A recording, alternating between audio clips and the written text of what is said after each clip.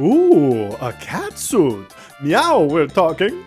Did I just say meow instead of now?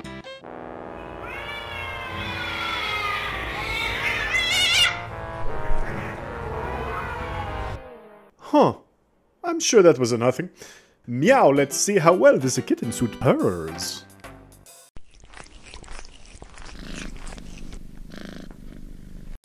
All right, Harold, back in the green shell, finally focused on only moving forward, and I. Oh, Mario in a catsuit, staring at me. That is unsettling. But at least it can't get any worse. Oh, dude, gross! Come on! Uh, Hey, knock it off! Get out of here! Scat! Leave me, leave me alone! Leave me alone!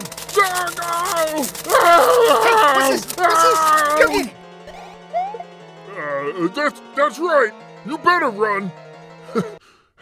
I, I had him right where I wanted him. Yes, you're very brave.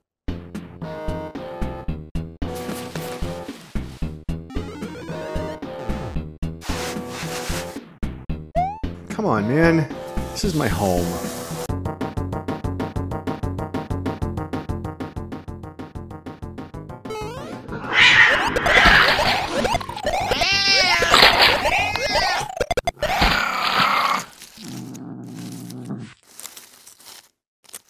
Uh, yes, uh, the biggest bouquet you have, and have the card to say, I'm so proud of you. You are definitely uh, my favorite son, Luigi.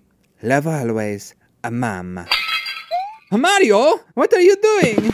No, a bad kitty, my statue. Don't you do it. Don't knock over the flowers.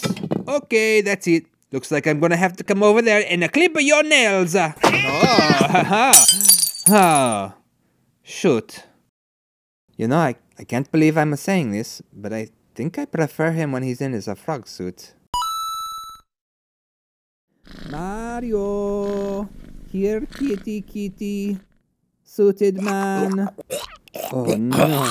I left my bedroom door open again and I just did the sheets! All right, Sonic here. Let's see which patrons are up for this week's roasts. Drew.